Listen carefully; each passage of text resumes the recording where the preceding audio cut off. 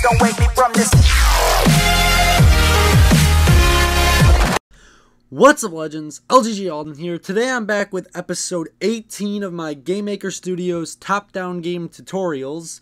I can't believe we're already on episode 18, guys. That's actually a lot more than I thought I'd get. So, but glad you guys are all enjoying this so far. So, last time we found a glitch where CPUs and enemies couldn't go through an open door.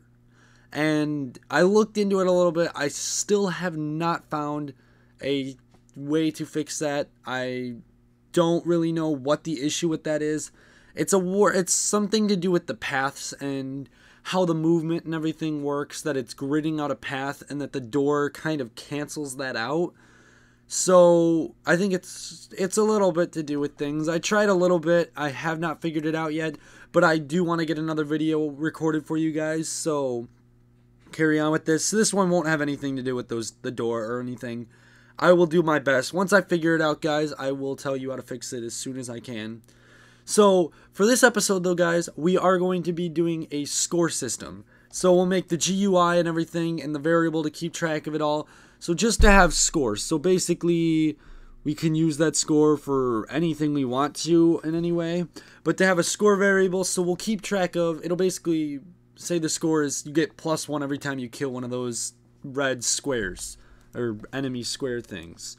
So to start this off, we are going to do a where should we start this? Probably at the game setup.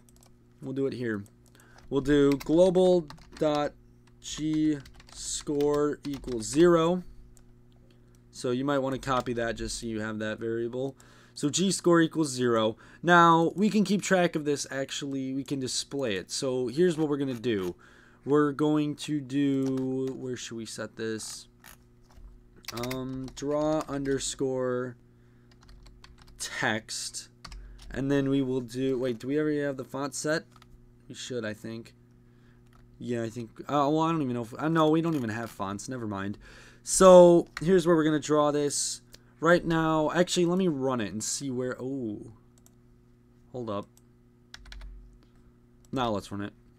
So let's see where we have the GUI as of now. So we have it in this corner. So we'll put it over here, actually. And the size of room, that is room, that is important too. So we'll go room test. The size of the room is... Oh, wait, fuse. Okay. So I believe that means we got... Okay, so let's try some numbers here. So draw underscore text, and then we will do... Let's see, dx plus... Uh, I'm trying to think. 1,000... Well, okay, let's try 980. Let's see where that puts us. I think I'm going off the right stuff. And then we'll do dy plus, what's the other ones go to? Um, do, do, do, health is plus 16, so we'll try plus 16. And then we'll do score plus, and then actually do, yeah, okay. So like that. Let's see where that puts us for GUI. It'll just show a zero for the score as of now, but that's completely fine. That's how we want it. Oh, where did we go wrong with this? Execution error, draw. Hmm. Oh, that's what it is. I know what it is, guys. Whoops, sorry about that. So string, so you gotta make this a string because as of now it is a number. You don't want it to be an integer, you want it to be a string. That's better. Okay, so we're a little bit off. So we will actually take this back to maybe 960. Let's try that. As long as we have it displaying basic score, that'll be fine. Play. New. We'll bring it just a little bit more. We'll go 950. No, because we want it to be able to go a decent score if there was to ever get to that point. So maybe 930. Let's try that. And this is just a lot of guess and check, guys. So play it. I think that'll be fine for now. Because you don't need it to be too crazy. Unless make it 920. That's I don't even want to test it. We'll be fine there. So that's going to display the score for now. We don't need to make it too fancy yet, which is fine. And then here we go. We'll go into the enemies. So in the enemy, we will do in the step event. Where is it? Where does it show? Instance destroy, is that? Oh, if health is zero. Okay. And then also one thing that it will do is this is going to be the first thing. So it'll do global dot score plus equals one.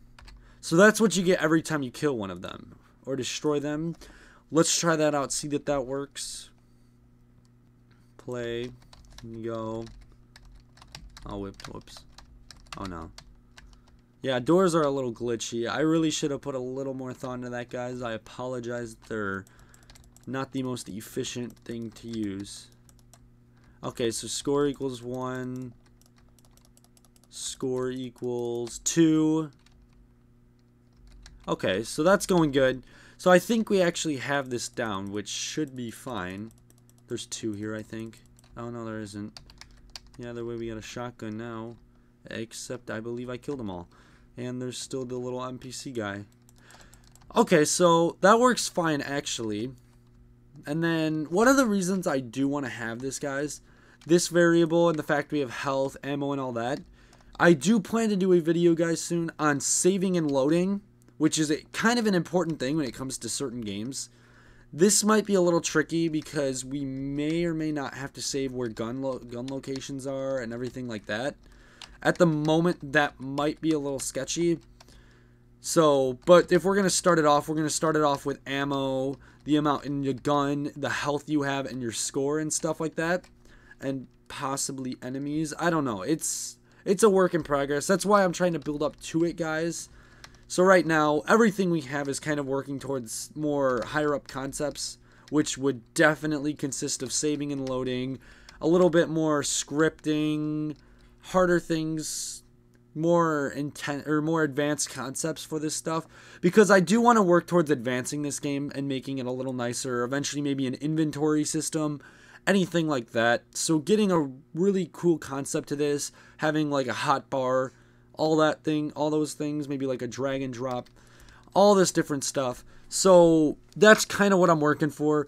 This episode was obviously very small and it was kind of a very basic one but it is something I want to add as a score because that will be used later. Like I said, it will help. Maybe we can use the score towards upgrading things, buying things. We'll figure it out as we go. Also, if you guys have suggestions for what to do, like whether you'd want to see a shop system, the what like things you want to see first, loading and saving, if that's one of the things, a like the shop, like I said, inventory, hot bar, all that different things having multiple guns in your inventory at once, switching between them, all the things, anything you guys want to see. Like I said, comment that. I do read all of your comments. Also, if you guys have any issues, any errors, whether that be previous videos, whether that be this one, or anything in the future, guys, comment that. I will always look at your comments and do my best to help you. I usually don't have an issue when it comes to this, helping you guys. So I do my best every time, guys. But that's all I got today, guys. Not much, but like I said, it's going to help in the long run for this game. Hopefully you guys have been enjoying these so far. If you are, make sure to hit that like button and subscribe. We really appreciate when you guys do.